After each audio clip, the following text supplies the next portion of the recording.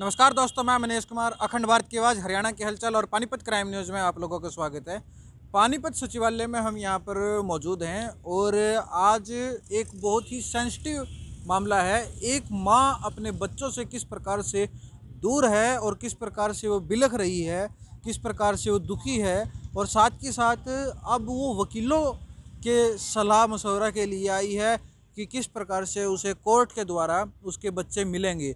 क्योंकि जब पुलिस से दुखी हो जाता है तो वकीलों के पास दर दर की ठोकरें खाता है।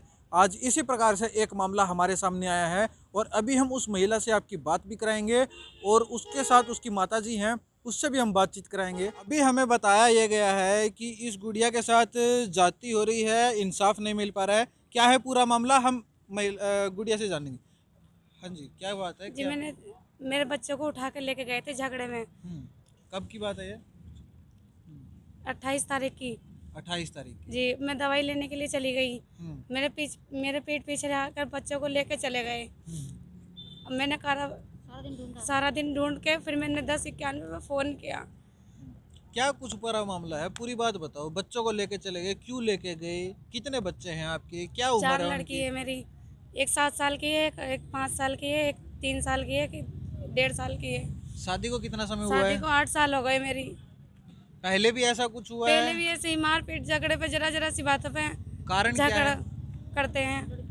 कारण क्या है? आपको क्या लगता है कारण क्या है? मुझे लगता है कि लड़की मेरी लड़की लड़की है मेरी इसलिए मतलब आपकी लड़की लड़की हो रही है यही है आपका कारण आप, आप- आपको ऐसा लग रहा है? जहाँ पर जो मौजूदा सरकार है बेटी बचाओ और बेटी पढ़ाओ का नारा लगाती है और वहीं पर जो बीजेपी सरकार है उसने तीन तलाक जो नियम कानून भी हटा दिया था लेकिन जैसे अभी इस महिला का आरोप है कि इसके पति इसको धमकी देते थे कि या तो कुछ भी बात होती थी घर में कोई भी है थोड़ा बहुत कहा सुनी हो जाती है और उस टाइम पर तलाक देने की बात करते हैं तीन तलाक। देते हैं मुझे। तीन तलाक की देते हैं? तीन तलाक की और अभी हम इस शिकायत की बात करेंगे ये जो शिकायत है इस शिकायत में आप लोग देख पाएँगे जो उद्देश्य बताया गया है दहेज मांगने व मारपीट करने का। ऐसा कुछ है? चार बच्चों का है। तो आप लोग देख पा रहे हैं पुलिस ने दहेज व मारपीट का लिखा है जो असली मुद्दा है उस बात पे बात ही नहीं की है ना ही शिकायत पे बात की है। मतलब मुद्दा भटकाने की कोशिश की जा रही है। पुलिस में शिकायत दी है। पुलिस ने क्या कुछ कहा? दरखास्त दी थी मैंने। रेनू मैडम को फ़ोन किया। दिया था?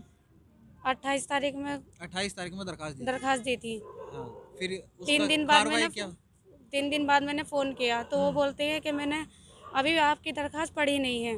तो ये एक महिला पक्ष की तरफ़ से एक आरोप जताया जा रहा है पुलिस के ऊपर कि अभी तक उनकी दरखास्त पड़ी नहीं है।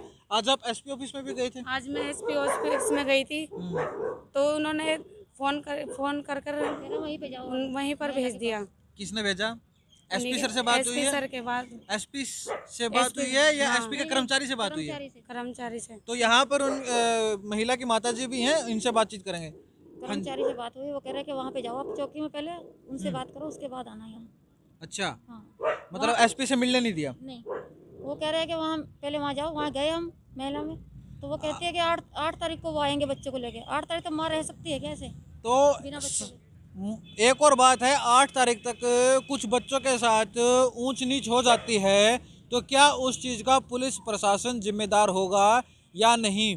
हम इसके लेकर हम पुलिस से भी बात करने की कोशिश करेंगे और हम जो ससुराल पक्ष है इनका हम उनसे भी बात करने की कोशिश करेंगे। यदि वो बात करना चाहते हैं तो वो हमें फ़ोन भी कर सकते हैं। अभी मैं इस वीडियो के डिस्क्रिप्शन में अपना नंबर भी छोड़ूँगा कि ताकि वो आसानी से हमें कांटेक्ट कर सकें और अपना पक्ष भी रख सकें, क्योंकि एक तरफा कभी बात नहीं होती, दोनों पक्षों की बात सुनी जाएगी। पल पल की अपडेट के लिए रहे रहें